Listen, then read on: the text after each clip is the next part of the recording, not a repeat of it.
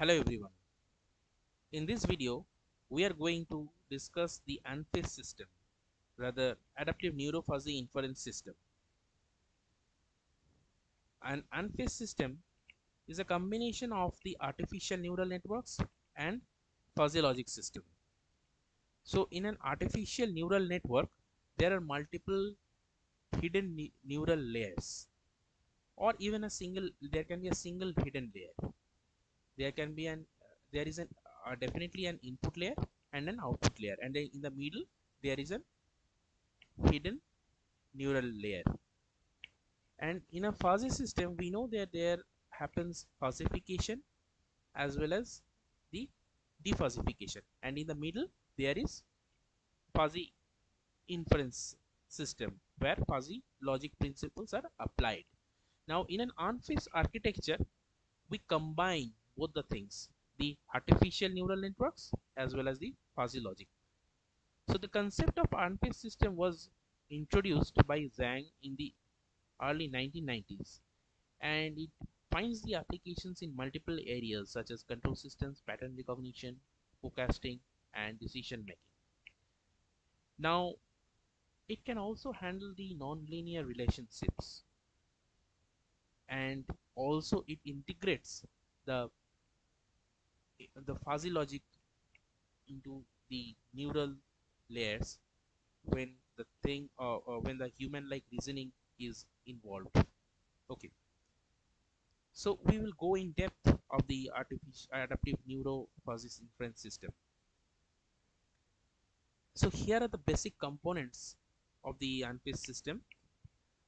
Basically it begins with a fuzzy inference system where the fuzzy sets are definitely a part along with the linguistic variables and the fuzzy rules where the rules are uh, decided based on the inference system. They have an inference system.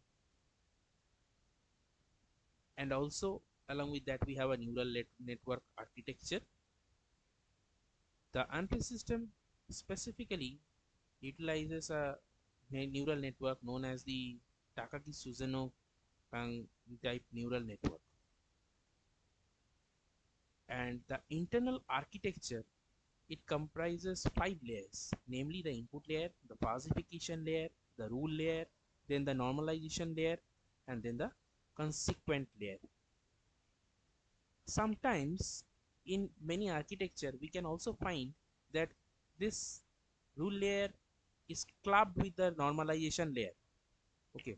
So input layer fuzzification layer then normalization layer consequent layer and finally another layer called as the defuzzification layer is applied separately. Okay? A learning algorithm is definitely applied. We have seen in neural networks there is a uh, the different uh, the algorithms that for example the learning happens through back propagation right? So the forward propagation and back propagation happens in a neural network architecture where the loss function is minimized. Similarly here also the same thing happens with incorporation of the fuzzy layers along with the neuron layers. So how is the fuzzy system implemented here? The fuzzy system is implemented with the help of membership functions to the activation uh, along with the activation functions. Okay. So this is how uh, generic ANFIS architecture looks like. So here we can see that x and y are the input variables. They are passed to an input layer 1 next comes the layer 2 which is the fuzzification layer next is layer 3 which is the normalization layer. Then the layer 4 which is the consequent layer.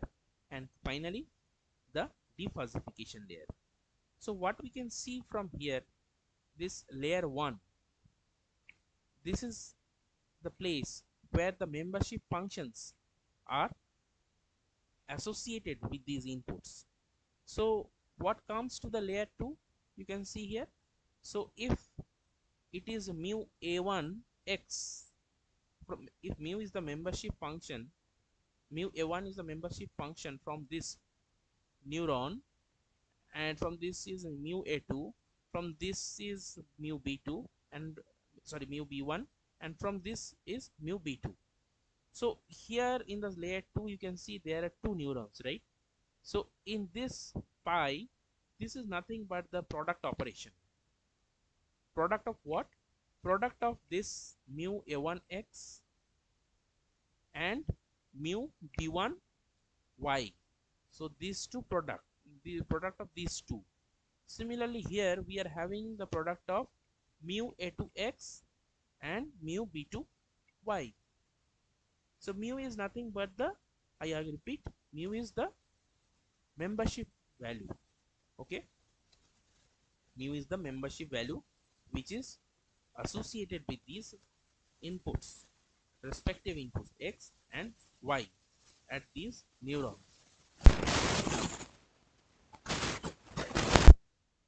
From the new uh, layer 2 we have the fuzzified input. We get the fuzzified input. So the input that was fed here was nothing but the crisp input. And we get a fuzzified output here with which is associated and wet w1 and here w2 okay? So here in this normalization layer 3 we have w1 bar which is nothing but this associated w1 with how much is w1 associated with this one and how much is it associated with and, and the association of this same thing with the one that is evolving from this second neuron. Okay. Similarly here w2 bar is associated with this one and this one. Both w2 parts. W2 of this uh, mu a2x and um, mu b2y and w2 of what? W2 of this a1 uh, mu a1x and mu b1y okay? So now next what we have here is here is a function of f1 and here is a function of f2 f2 f1 is nothing but a function of this xy okay?